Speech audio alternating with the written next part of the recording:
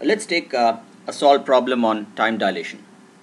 So there is a planet, an alien planet, and there is a clock A kept with uh, a person uh, at a relatively stationary point relative to a super fast train which on that planet is able to move at 200,000 kilometers per second, something impossible on Earth.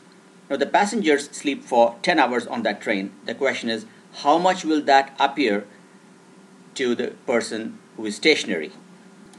For the passengers inside that train, they, their watches and their clocks are all together moving at the same speed. They are in an inertial frame. So they will see a sleeping time of 10 hours, which for them is the proper time interval. For the stationary person, if he looks at only his clock, he will see 10 hours, which for him is proper. But when the stationary person is looking at the moving train, for him, the passenger sleeping time will appear to have got dilated, elongated, lengthened.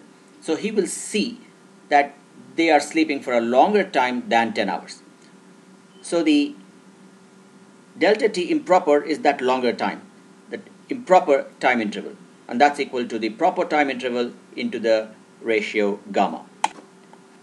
We just uh, convert the velocity of the train uh, as uh, 2 into 10 to the power 8 meters per second and that's in line with the way the velocity of light is expressed as 3 into 10 to the power 8 meters per second and now we can calculate the improper time interval by plugging into the formula for gamma. We now substitute into the equation. We know that delta t proper is 10 hours, gamma is 1 by square root of 1 minus v squared by c squared. Doing the maths, we will get the improper time interval as 13.587 hours.